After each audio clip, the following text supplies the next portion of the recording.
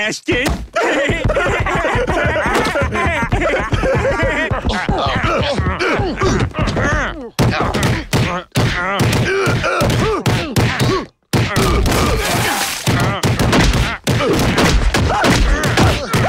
Ah! oh my god, sorry, Lois. Peter, what is our infant son doing up on the roof?